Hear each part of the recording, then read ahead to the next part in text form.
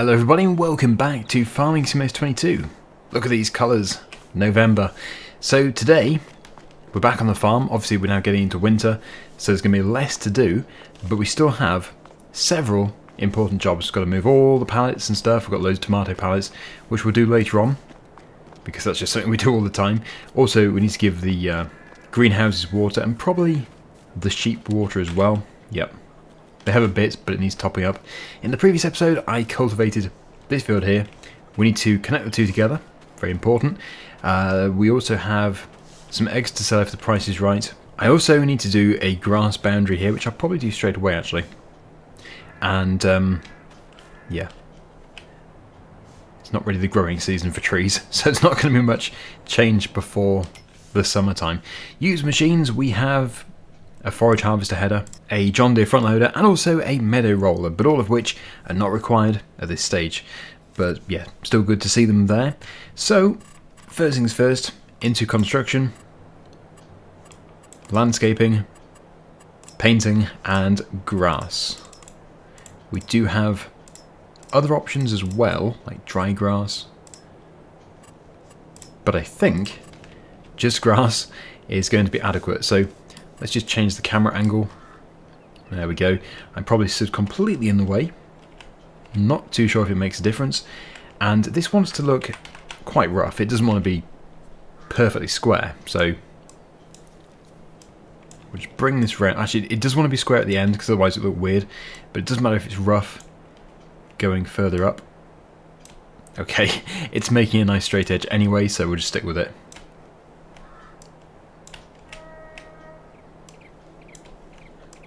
Okay. And of course it does cost us a bit of money. So there we go. Everything's going to look a bit different when it has started to grow. Typical. uh, right, so I said we're not going to do square. We've done square. Um, it's probably for the best anyway. So that has completely divided this field, which is going to be sugar beet, from the forest, which is going to be incredibly dense. We're not even going to be able to see the trees over there when these grow. Uh, and yes, it's not the time of year to do sugar beet, so we're going to have to wait. Sugar beet is done in March, April time. So we have a bit of waiting. So I rented this cultivator in the previous episode on our brand new tractor, and I just wonder if we can somehow reclaim some of the money. I don't want to do a big cultivation job because it would take far too long, we have stuff to do, um, but if we could just get something done, just a thousand pounds, that would be that'd be pretty nice. For number 14, that must be close to here. Right, I've looked. It's not really worth doing at all. Not at all. It's quite a lot of work for not much money in return, and we'll probably run over the renting, so we'll just return it. Fertilising, on the other hand, is worth it. Look at that. £27,000 for doing 26. We shall do that. It is huge, but I believe we're capable. So yeah, we'll just go and plough that first of. Hopefully the contract doesn't disappear. And then we're going to have to buy a load of fertiliser to do it. So we can return it from here. Cheating in a way, but it doesn't matter too much for that. And we will get the... I was actually using the Landini tractor for connecting fields before. It wasn't too fair on it, so we will use this tractor. I haven't used it for a while. But I'm a bit concerned that because we do have two tractors which are very similar, one of them is just going to become redundant and it's just going to be sat around depreciating. So I might have to run a vote as to whether or not we sell one of these two tractors, the, the, the Valtra or the Massey Ferguson, and if we do sell one, which one. But anyway, yeah, as I said, we're going to be connecting the fields just here, even though no crops are going in until next year. I need to keep the track which leads up to the grapevine because I'm not 100% sure what's happening there yet. Uh, yep. To switch on, allow create field.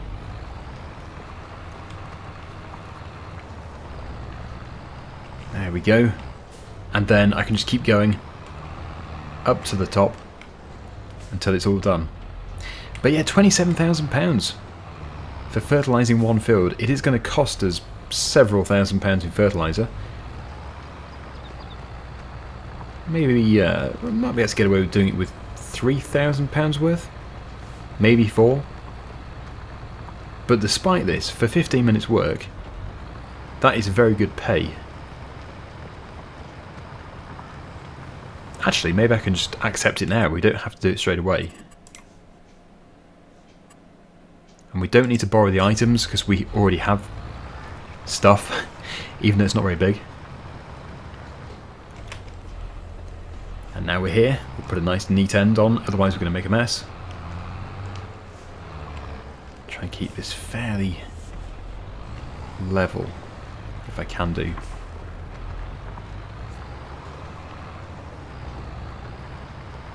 Yep, that's good enough. Okay then, right. I will just plough this section, we'll join them together, and I will see you in a minute.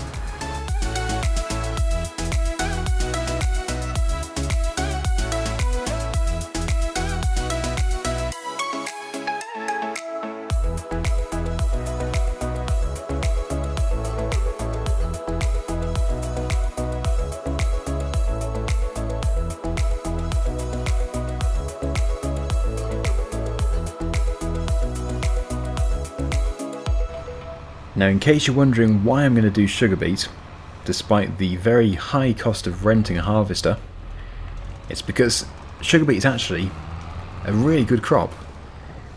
The amount of crop you get off each acre is considerable. In fact, I think it's one of the best crops you can do. But you do get a lot of it, so it does involve quite a bit of casting. We've got a lot of sugar beets to take to a sell point.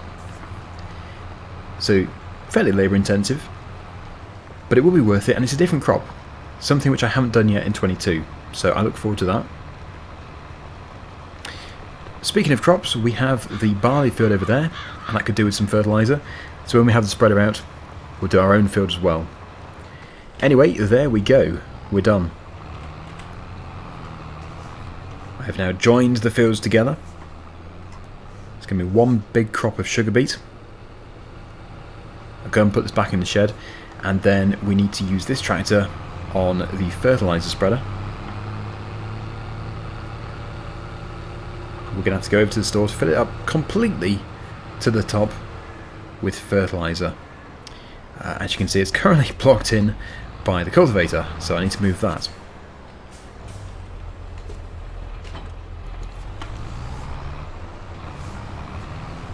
I would use the new tractor, but it's not really going to be set up for this. This tractor has the row crop tyres, which it currently has on, even though they still look quite wide. Yeah, my new tractor is more for cultivation work and running the new planter, that sort of thing. Oops, sorry Landini, just smashed in the bonnet. oh dear. Right, okay then, so let's get this put onto the back.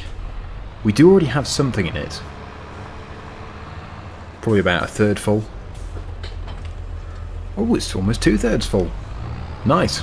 Well, in that case, what I do is I fertilise my field first, and then we'll go to the store, fill it up, and then fertilise the other farmer's field. Um, yeah, it is the biggest field on the map. Field number 26, so it's going to be interesting. So I'm set to 42 meters. Let's go. I believe that is working. Should clarify very quickly. Yes, that is working. Good.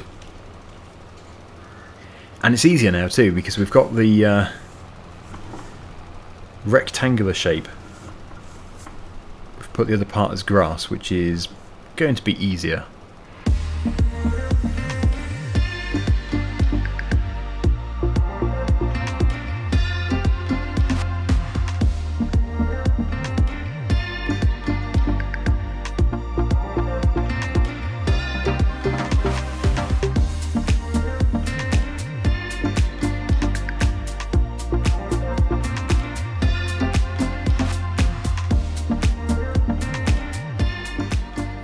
Okay, so I'm going to buy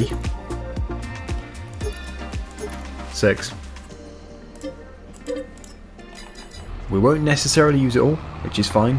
It's not going to be wasted. Uh, but yeah, we just need to make sure we have enough at the moment. I'm not going to be taking a trailer over there, so we'll just have to come back if we need to fill up. But I'm hoping a full one is going to do it. There we go, that's 3,200 litres. It's a lot of fertiliser. So, yeah, Venom 26, there it is. Oh, wow, this is going to be huge. Just to give you an idea of scale, 26, and there is our big field. 40 and 41. So, pretty large. And I noticed that it's the second application, so I really hope the crop isn't too tall, whatever crop it is. It's going to make it very hard to see. 26 is a canola crop. Well, with it being canola, it should have only been drilled about two months ago, so it shouldn't be that established. There it is, on the left-hand side. The biggest field on the map, costing over a million pounds. Wow, if only we could own this. Although I don't think I'd want to own it, I much prefer to work in the smaller fields. Right, okay, so there we go, we have begun. Make our way across. Uh, obviously the trees over there, the orange trees are the boundary. So we've got to make our way all the way over there.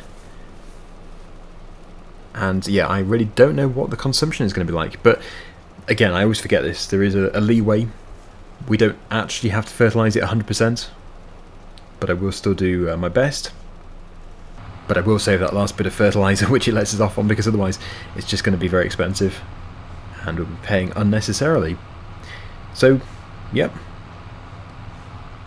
Get it done. And then we can collect a really substantial amount of money.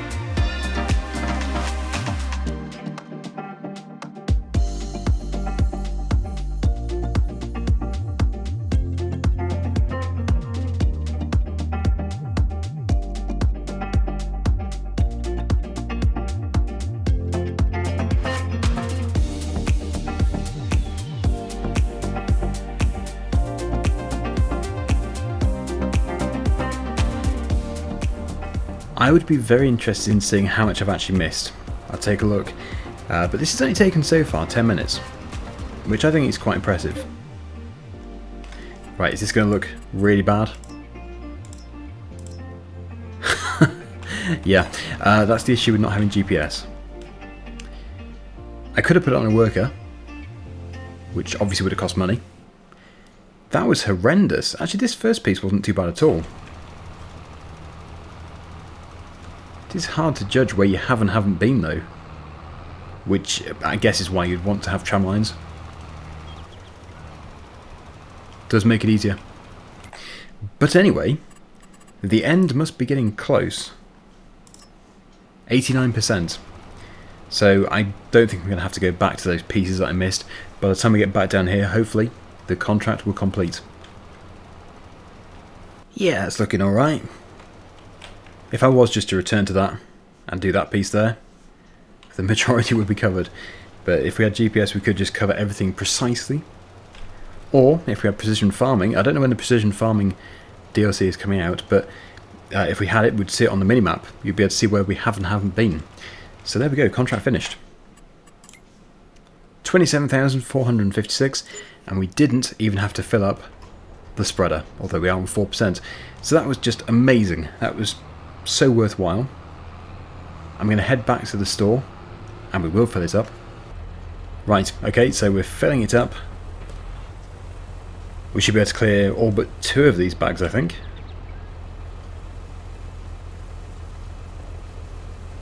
There we go, just one left.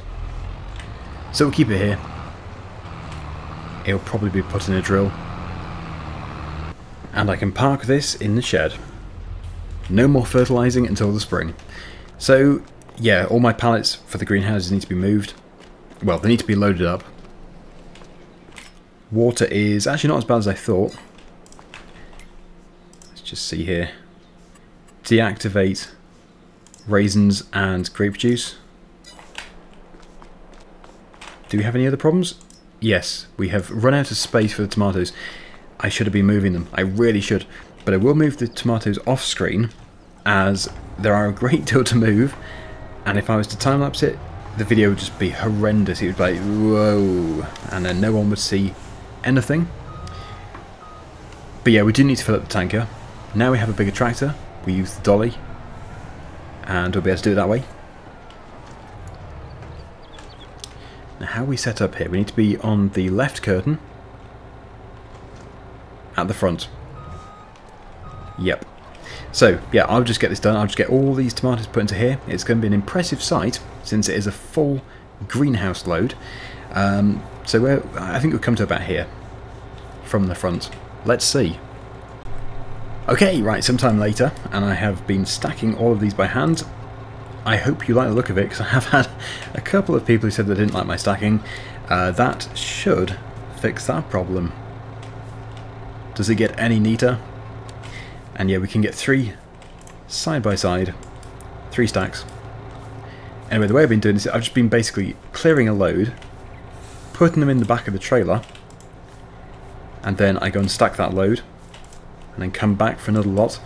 But I think we must be fairly close to um, empty. Oh look, only two spawned. Which makes me think that is actually the end. We shall see. But we do have a great deal in here.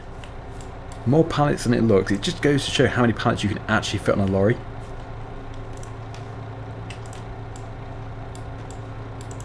And yeah, I've been using the uh, bed of the trailer to make them flat. Pretty easy. So I'll continue, I'll stack all the rest of these, and then we will uh, say the tomatoes are done. then we just have the lettuce. But luckily I've been selling the lettuce quite a bit, so I think there's only about, well, probably just those pallets there. I don't think there's going to be many more to spawn. Right. We can have one more layer to start to get a bit tricky. And then we can head off to over there. I doubt the smart is a good price. Okay, there we go. So that is the next stack done. Put the strap over. I think it's only going to be a matter of time before somebody creates an auto-stacking trailer. Turn this lorry into an auto-stacker, leave it here next to the greenhouse, and it'll be full in no time. Imagine that. Not very labour intensive. Now yeah, you can pick up these pallets by hand, I know, but I'd like to use the forklift for something.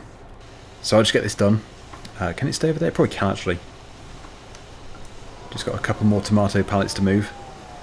And these are going to be done three high.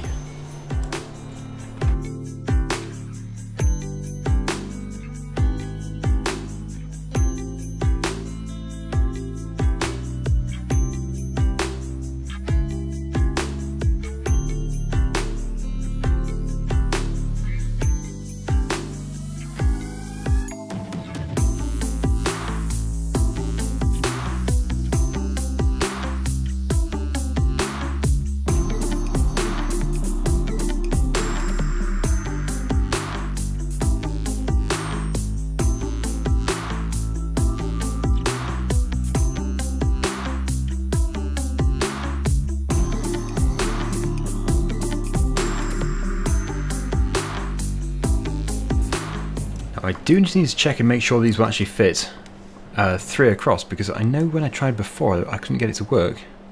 The tomatoes do. It's probably just because it's been loaded badly. I would say uh, yes. Let's just see what we can do.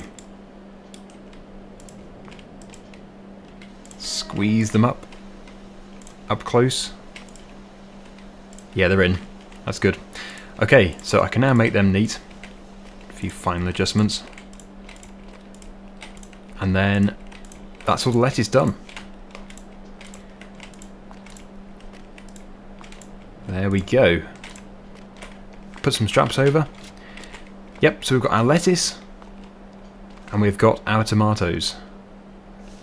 We shall let much more grow because uh, that really is not going to be economical taking a trailer like that, although I was probably taking less than that before because I was so bad at stacking it. It's now better. So, yes, what shall we do? Uh, I need to... Um, I'm not desperate for water, actually. But I'm quite tempted to see how well the tractor can perform with the tanker. So, I'll try and empty it. Unless, of course, it's already empty. And then we will uh, we'll try and see how well this tractor can pull it out of the lake. But I need my dolly. Uh, the dolly is already attached. Good. Really, we shouldn't have any problems. This is quite a big tractor. But it does seem like a very heavy tanker. Well, it would be. It's, what is it, 31,000 litres of water. So the first stop is the sheep. Top up their water trough.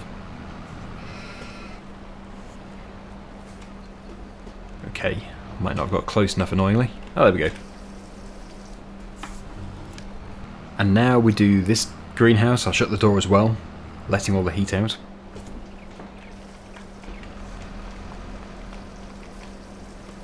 Hmm, probably can't squeeze in with it there. There we go. Okay, right, that's done. Yep. And now for the big one, which will take quite a bit, but it is, I think it's about half full, so it won't be a, a huge amount. And that lorry really needs to have a parking place. it's a bit in the way. Okay, we'll see how much it takes. But the greenhouses are certainly worth doing. But I would say, if you're going to do them, it's worth spending the extra time just loading them up by hand, the pallets, and taking them over to the sell point. Right, so we do have 45%, but let's just go and get 100%. It's going to be a bit of a test. But certainly, looking at the acceleration, we may have issues. I found the shallowest bank is just over here, so we can unload it here and then try and get out of there. Need a, a small run up. There we go, we're full. So how is it going to perform? The Valtra could do it, but it did struggle. Sometimes you had to back up and do it again. Wow, straight away. I had my doubts, but I didn't need to. I am so pleased I bought this tractor. I might have mentioned that before.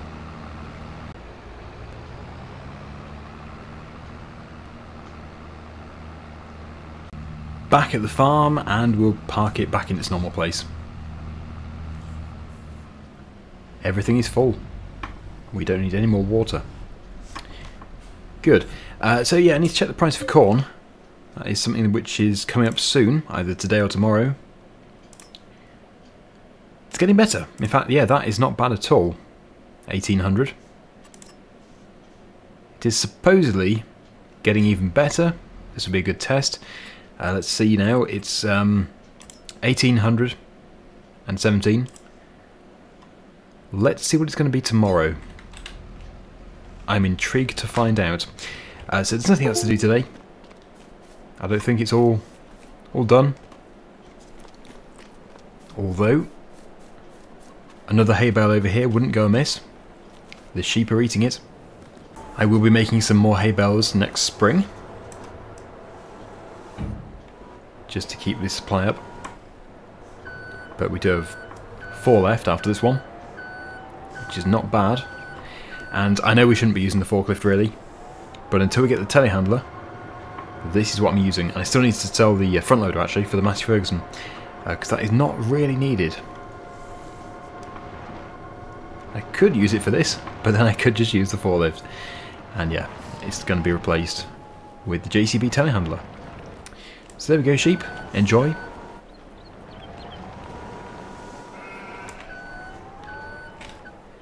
It's good for another year, possibly.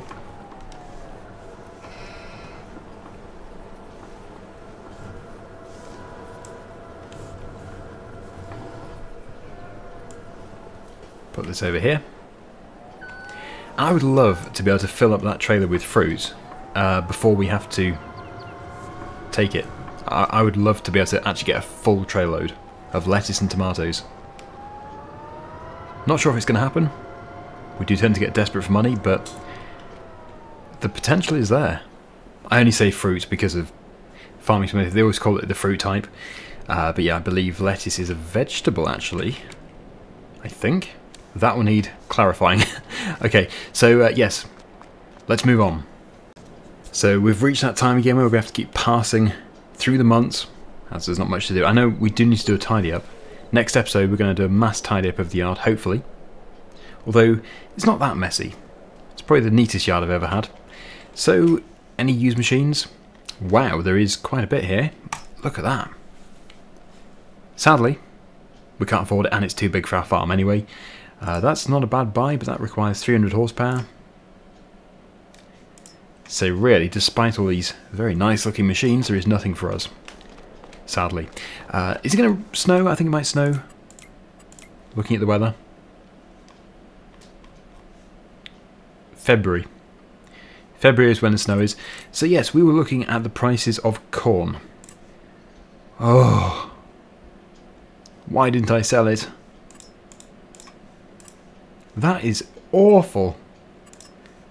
And the price fluctuations make no sense then, because it, it was November, when it should have been at its lowest. December should be increasing, quite a bit. And yet, it's dreadful. So, there we go. Uh, it will it will rise again. We don't need to worry too much. Uh, but I should have I should have sold the corn. Anyway, next time I think we're going to be moving on till uh, to January. I don't think we need to do anything in December. Contracts are going to be few and far between. Yep. How? Oh, it must be the last corn harvest. Anyway, yes. Like I said, few and far between. We'll soon be able to prune the vines. And uh, as soon as we get to April, we can start putting in sugar beet. I look forward to it. And next time we'll also sell the eggs, because yes, there is quite a bit there. Thanks for watching everybody, hopefully you enjoyed the video, and until next time, see you again soon. Bye for now.